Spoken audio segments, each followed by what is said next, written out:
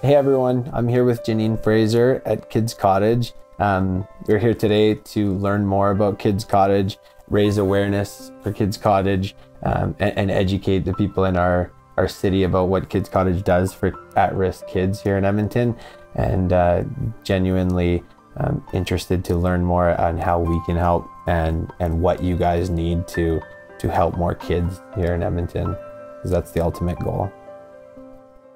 So, Kids Kottage is essentially a shelter for children from birth to up to 10 years of age.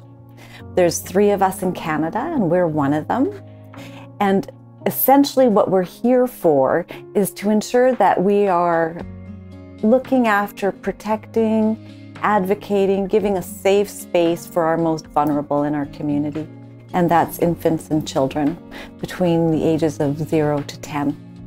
And then in the interim, while we're sheltering those children, and it's just the children that we shelter, not their families, um, we're allowing children having that space just to be children. We work very strenuously with their caregivers or their families to figure out what is the trauma or the crisis that brought them in and how can we alleviate that for them. That's amazing. How are they finding you and what type of situations are they coming from here in Edmonton? Primarily, it's the parents that are calling us or caregivers that are calling us through our crisis line. So they recognize that they're in crisis and that their children are at risk. I think that takes an amazing amount of courage. Some children are, and I know it's very difficult for people to imagine, but you know, two year olds wandering the street. Yeah. Um, 2 or 3 a.m. and police finding them and they know that they can rely on Kids Kottage to shelter those children. Those children have quite a bit of um, trauma. Yeah. Um, emotional trauma, sometimes physical as well. And it's those children also that we shelter and work with. Yeah, that's amazing. So, jeez.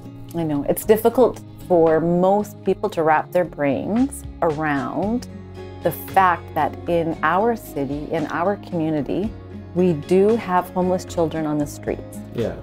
We do have children that go without food for three or four days. So at the breakfast, you guys had a list of like things, you know, if you can't contribute financially. Here's the thing here's a list of things we need because the reality is you don't have an unlimited budget. We you know looked at that list and saw that you needed some flooring and paint in the in the basement of this facility that hasn't been touched in a long time.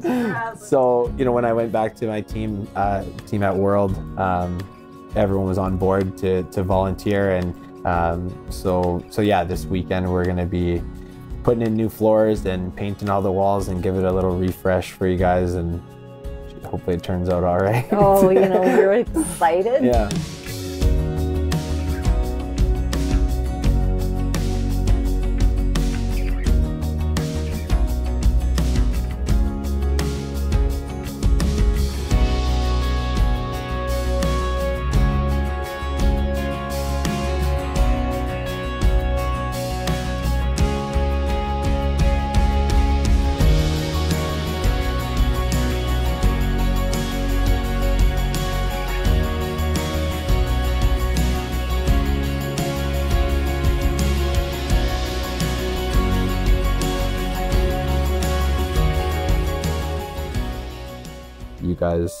Take them in basically no matter what. Mm-hmm. Um, but you are limited to space with the options here. There's 12 beds. 12 beds. There's 12 beds. Well, we turn away as many as we um, admit, unfortunately. Yeah. And it's just, I mean, it's heartbreaking for us because this is what we're here for. This is the business that we've decided to take on. Yeah. The team is incredibly passionate.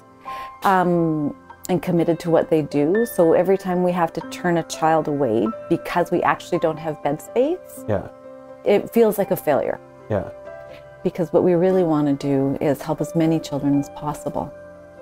So by raising awareness of what Kids Kottage is and educating Edmontonians on what Kids Kottage is and um, where people can support Kids Kottage and, uh, you know, um, financially or in different ways that can possibly lead to getting more beds for Kids Kottage to help more children that don't have a safe place to sleep, eat, and be warm. Yeah. Ultimately, that's the end goal, Yeah. right? Is that we don't ever have to turn a child away. So I received phone calls from, um, they're adults now, but they were children staying with us. Yeah, And they are phoning to let us know that they made it and they're okay. that's amazing.